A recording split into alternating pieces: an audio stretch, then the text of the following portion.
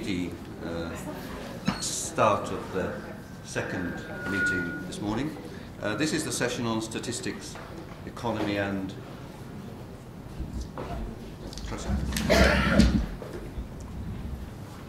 This is a session on economy, uh, statistics, economy and the rural.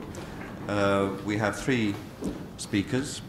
Uh, they'll speak uh, and make their presentation and then we'll have discussion afterwards. They're speaking each for 20 minutes. Um, Kamil Mahdi, uh, who is in the middle of the triumvirate, uh, is an economist. Uh, he taught for many years uh, at the University of Exeter, was at one stage the director of Gulf Studies there, and he's also been a senior uh, visiting fellow at the London School of Economics Middle East Centre. Uh, Yasuhisa Yamamoto is uh, currently at ESCWA here in Beirut, the UN's uh, Economic Commission Southwest Asia. Uh, he's one of the authors of the um, Survey of Economic and Social Developments in the Arab World. He's been at ESCWA since uh, 2002.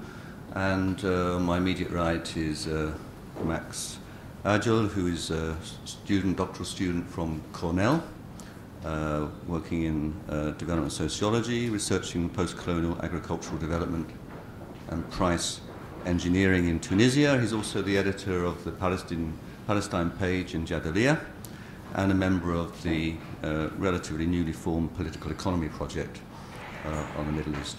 So I welcome them all, as well as you all, to this session. And I invite, uh, first of all, Kamil to begin. Thank you, Ray.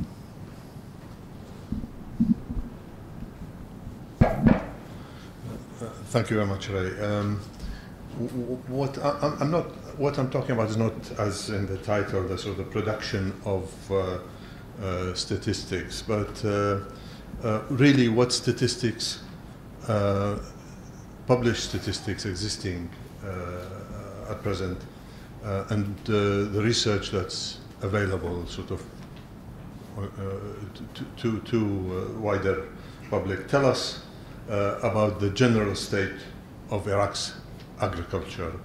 Uh, I'll say something about it, about the, how we got there, uh, uh but uh, that's but we'll start with, with uh, what it tells us about the general state.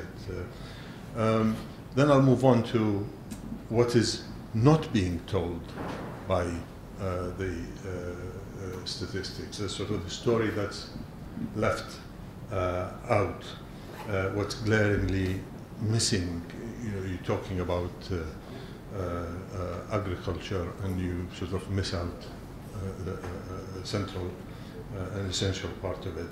And then I'll say a little bit more about why this gap exists. Um, so I'll start with what what we know from the, the data.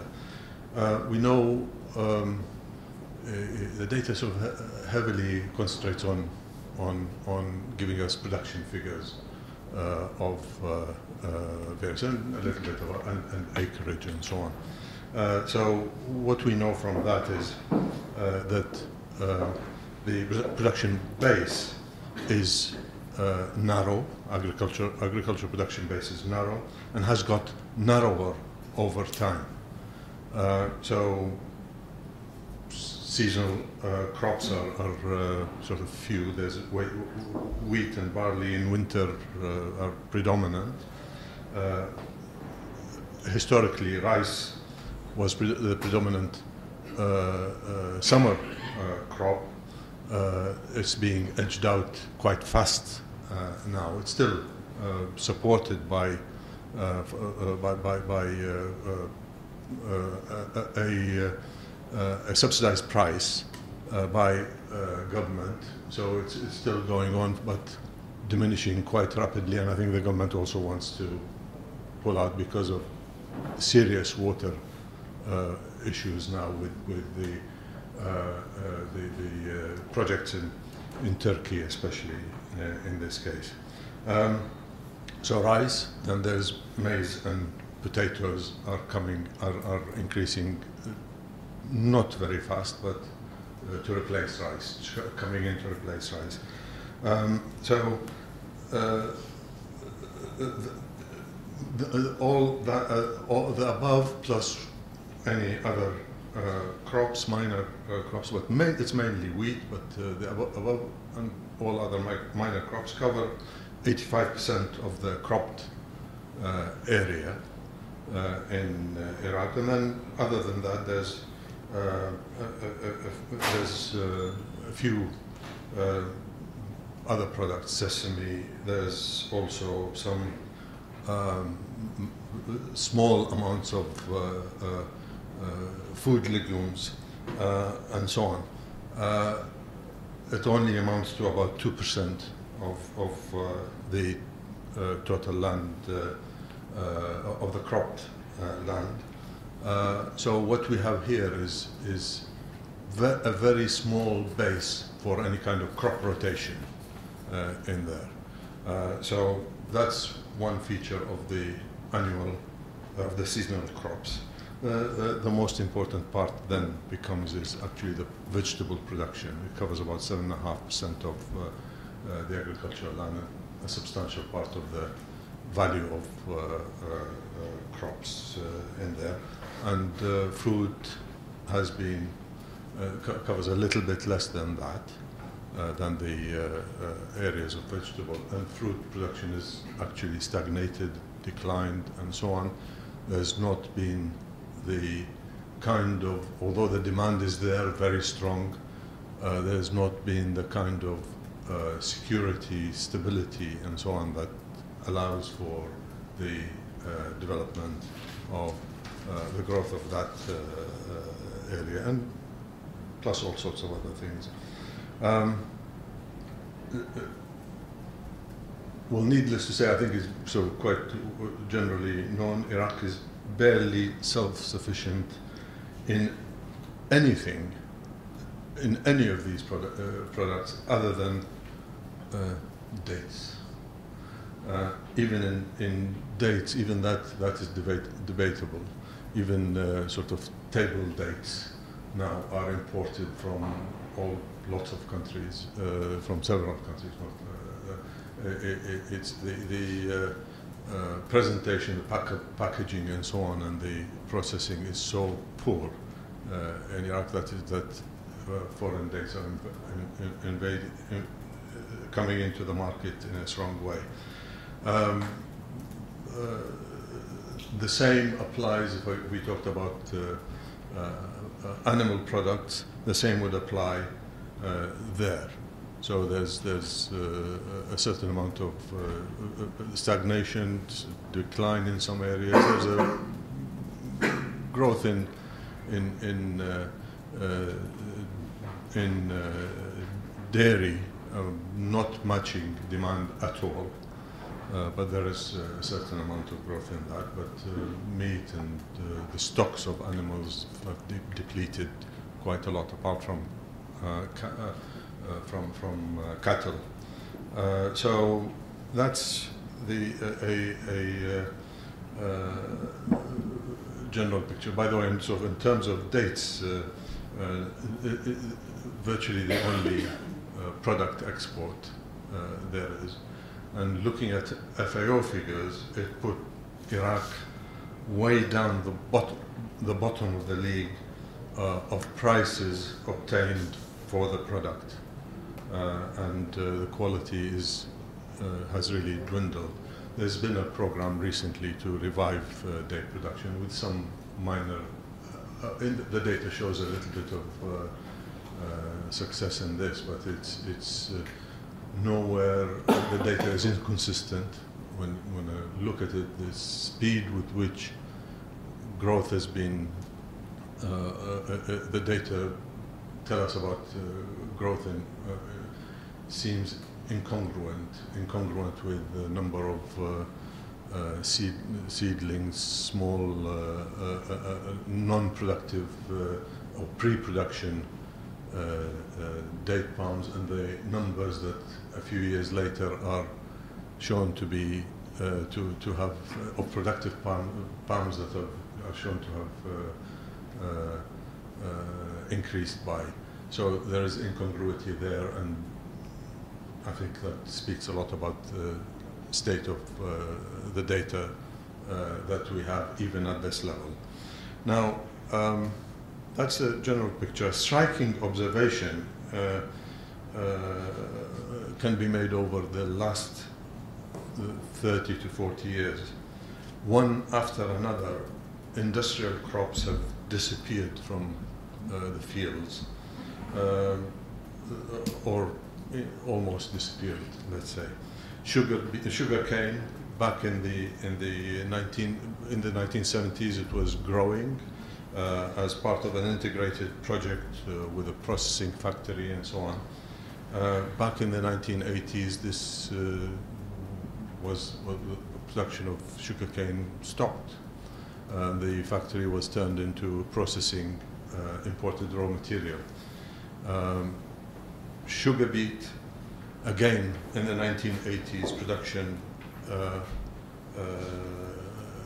stopped. It was growing earlier, production stopped, uh, but then it was revived in the 1990s under sanctions. So it was a way of uh, getting some sugar on the table uh, during the sanctions period. Uh, but then died again with the, the, the, a lot of things seem to die with the uh, American Promised Liberation. So uh, it's um, yeah, uh, cotton again declined and revived, declined in, in the in the 80s and revived in the 90s, disappeared after 2004. 2003, 2004, uh, the uh, mi uh, Ministry of Industry had its factories well, had its factories looted in 2003 uh, as an an act uh, of liberation again. The uh, ministry had no no more call for uh, cotton, was not buying it from the farmers. The farmers stopped uh, two years uh, running and stopped stopped producing cotton. tobacco again declined in the late 1970s and never uh, revived. That's partly related to the well related to the situation in Kurdistan. Again, we can say the same uh, similar story to the others. Uh, sunflower declining, rising again in the 90s under sanctions and disappearing under uh, occupation, uh, and uh, other crops, linseed and so on, so all these industrial crops have uh, disappeared.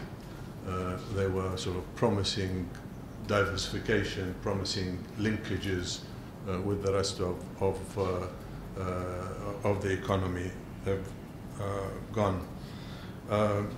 obviously, this raises serious issues not only for the general economy in Iraq, but it also raises serious issues for the farming uh, communities and for the uh, people, for the livelihoods of people. It's become, everything has become so dependent on one product. It's much more precarious. It's uh, uh, added to the physical and political uh, risks. This is a, a very serious, I mean, physical here environmental as well as other physical and other uh, ways, it's, it's very serious for, for uh, farmers. Uh, this has led to um, heavy dependence uh, on direct uh, state subsidies. Uh, so, yes, we, we, we, can see recently, for example, um, the, the great success story of, of, of, of, farming that recent increases in wheat output from a, from a little over 2 million uh, tons uh, a year in the early 2000s to uh, a reported, I must say, uh, over 5 million in 2014 and uh, promises of uh, self-sufficiency and that's sort of talked about all the time in, in official sort of discourse talking about food sufficiency still in the, in, in, in the midst of exceptional dependence on imports in every area. But that figure into 2014, based on uh, some increases over a period of time before that, was is is uh, interesting to note. Five million tons. Well, that is a, a hugely. Uh, I mean, um, it's it's it's it seemed highly unlikely.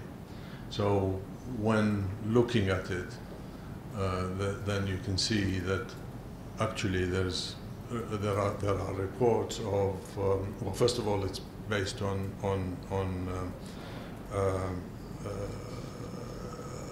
a price a guaranteed price of 600 about 600 dollars uh, a ton which is considerably higher uh, than uh, the uh, international price well fair enough if it's if it's to do something for a short while but obviously on a large scale it's unsustainable. Uh, but uh, the question here is to what extent this is actually production and not imported, recycled uh, products. It's all, all supposed to be based on uh, farms that are inspected uh, in general sense and recorded, uh, the, the, the, areas that are planted, uh, uh, samples of uh, output to ensure that there is a, probity in this area. But the reports that have been seen, including discussions with people from the trade ministry who on the receiving end of the uh, uh, farms. This is probably highly exaggerated. The problem here, on top of the corruption and the uh, and the uh, cost is uh, that with the collapse in oil prices and the government's financial situation, the government has stopped paying farmers. So actually, the farmers over the past couple of years have not been paid for produce that they've, uh, or many of the farmers have not been paid for produce that they have uh, handed over to uh, government silos. Uh, so uh, there's constant demonstrations now of farmers demanding their, their, their back payments. And what are the consequences in longer term for agriculture, one can imagine in this uh, case. Um, now, uh, so what we have there uh, in, in, in, in terms of agriculture at the moment is therefore um, a, a, uh, a, dependence on um, uh, vegetable production for the market straight from the farm to the market. There's no, there's little by way of uh, cushioning, little by way of, uh, of, of processing, so that uh, uh, there'll be an evening out of uh, prices offered of demand and of, of meeting demand and so on. There's little by way of that. There's it's a total dependence on uh, the ability of the farmer to go to uh, to to uh, reach the market and to get the best price possible in that way. It's this is uh, being uh, uh, th this is being um, of course there's increasing growth of, um, of, of commercial uh, uh, production of, of uh, fruit and vegetable in that sense so it edges out large numbers of people now what I want to I can I can what I haven't said is what we haven't, what we, what the statistics haven't told us. They've told us all these things. We can glean this out, but without they haven't told us. There's um, no mention anywhere of land land hold, distribution of land holdings, of uh, distribution of uh, ownership of machinery, the distribution of, uh, uh, hold, of ownership of uh, livestock, anything that is uh, of, of, of capital in this way, there's no mention in the data. The last agriculture, full agricultural center, census was in 2001. Even that one, the published records of that don't say anything about that. They give totals uh, and totals by area and so on, but they don't give distribution by size uh, and uh, so on. There's the uh, uh, the only thing that I found was sort of where where uh, may one may have some hope of getting some information about uh, size and so on is, is perhaps in the use of, uh, uh, of, of plastic culture for, for agriculture and so on. Uh, but that's, that's, that's about all. So we've had a, uh, uh, previously a, a, a interest in agrarian reform and land reform and so on, and there was a considerable amount of information about who is a farmer, who is a peasant in that sense, who is a, a, a, an agricultural worker, and uh, uh, uh, what kind of uh, uh, relations, tenure relations, and so on exist within agriculture. Even a little bit of information about ownership of land as opposed to holding. There's all of that is, is, has just been edited out. And there is no, uh, well, I say edited out, ignored in that sense. It's sort of like a farmer is a farmer, is a homogeneous. There's, of course, there's mention of فلاحين ومزارعين. There is a little bit of mention in, in statistics of عمال زراعيين, very, very uh, small numbers of permanent uh, uh, um, uh, agricultural workers rather than the temporary. But then that, that's, that's all. There is, uh, they're all, it's homogeneous. And I think this is a, an issue that is reflected in the lack of social research as well. About, so it's not just the, the, the uh, statistics. We don't find there used to be a considerable amount of social research and of anthropological research at village level uh, in the 50s, early 60s. Uh, in the 70s, it became more politicized, sort of government inspired and, of course, restricted, but still was there. You could still at least get uh, a government hack to talk about uh, uh, uh, land. Some serious research as well uh, continued. It's not there anymore. There's a lot of discussion about production and so on. So that's all. Thank you.